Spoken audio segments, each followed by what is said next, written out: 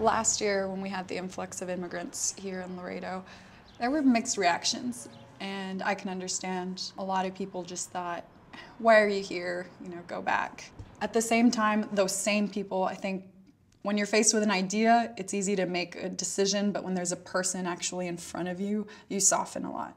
26, 27, 28.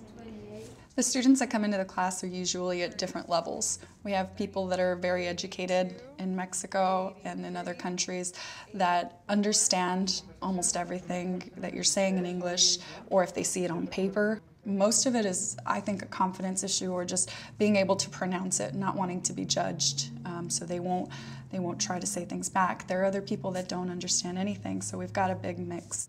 Tengo, uh, yo tengo la residencia estoy legalmente aquí en Estados Unidos.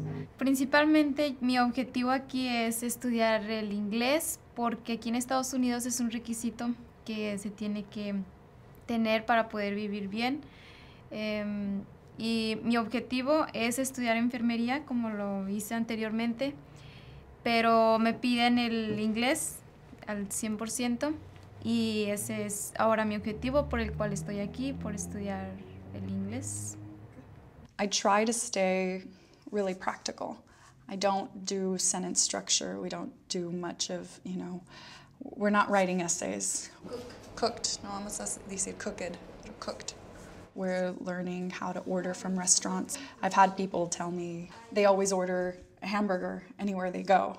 And finally, they had someone ask them, You really like hamburgers? And she said, No, it's all I know how to say. Um, let's review the parts of the body. From there, we've worked on how to talk to the doctor at the doctor's visits, what things mean. Here. Ear. Ear.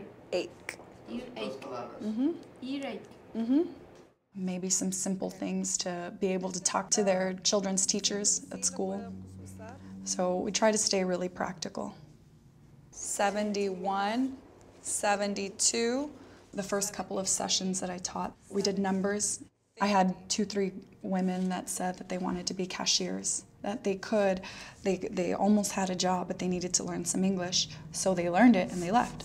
So, which is good. You know, they, they learned what they needed to um, to get by or to, or to get the jobs that they needed, and they didn't come back to, to class because of their hours, because they're working now. Cuando llegué aquí a Estados Unidos para vivir, sí fue muy diferente a México. Se siente más paz, se siente más tranquilo, se siente muy bien vivir aquí. Sí es una gran diferencia de estar aquí en Estados Unidos, estar en México. Igual allá tienen también, teníamos nosotros nuestras vidas, pero ahora tenemos que empezar aquí en Estados Unidos, pero sí es agradable es estar bien aquí.